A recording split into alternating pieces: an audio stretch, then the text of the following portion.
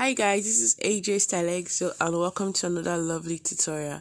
Well, in this tutorial, we're learning how to make our six piece blouse.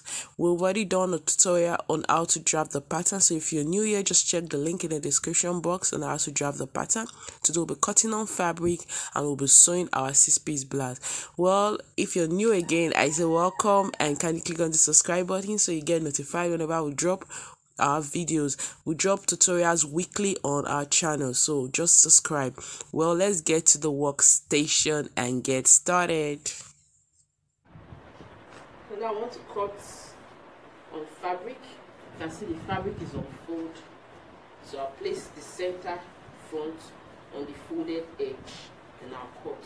When i'm cutting uh, i can decide to measure half inch on the from the paper to the fabric but with my eye I can I'll be able to gauge but for those that are not sure you can use your marker or your chalk and then measure measure half inch around like this all through. So you cut from the half inch mark.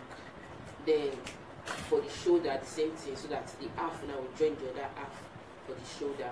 Then for the M leave whatever allowance you want to use to fold the M.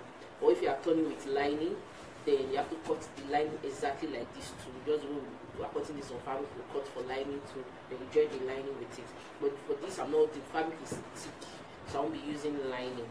So i'll be folding the edge and i'm adding one and half for folding. So this is one and half let me just mark this one out.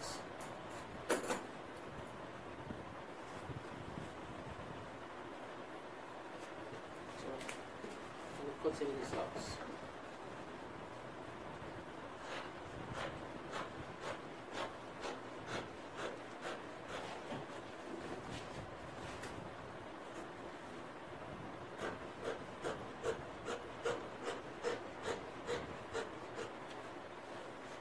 parts we've cut this is the front with the white pattern paper and this is the back with the white pattern paper. So you can see that I left half inch around for joining allowance. So what you what you do is just fold it like this then notch so that you can know this point. So this notch part with this notch part you join it together. It's easier that way. So just notch then notch here as well. Then where else? You, know, you could not here if you want. You could not here if you want, but it's okay. It's alright. Then, okay, let me just notch it. These both points.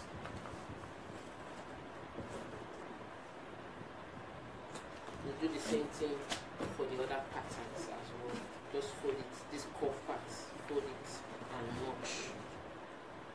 So this notching help you when you're placing it together. You place the notch parts together so you can align well. Then this curve part you notch. This is this curve part is where this bust notch will go into. So so this is it. This these are the notch parts on the waist. So by the time I'm pinning, I'll just place it like this pin this notch part together before I pin the sides together. So join it by half the half inch we added.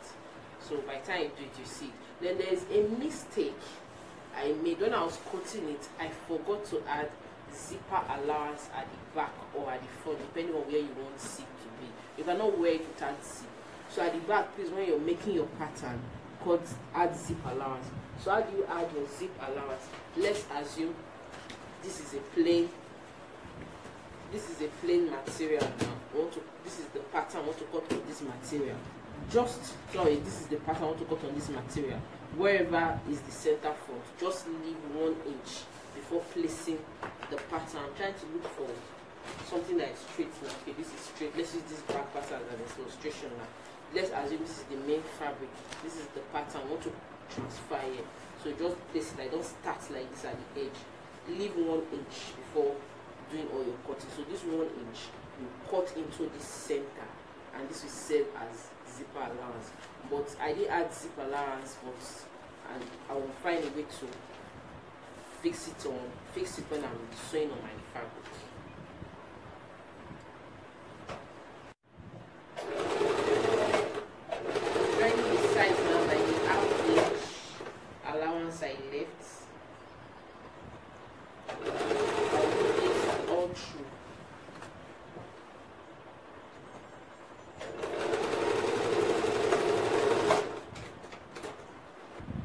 this is the front piece now i've joined it. This is what it looks like.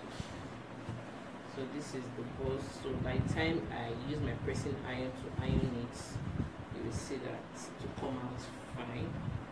So when i said you can put an interface in yes you can put an if i if i put an interface in here it will be stiff.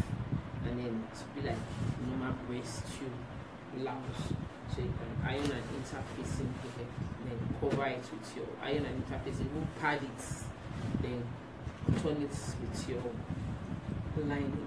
But i'm not adding interfacing either am i adding lining but the material is thick. So what i just do is this is the back now.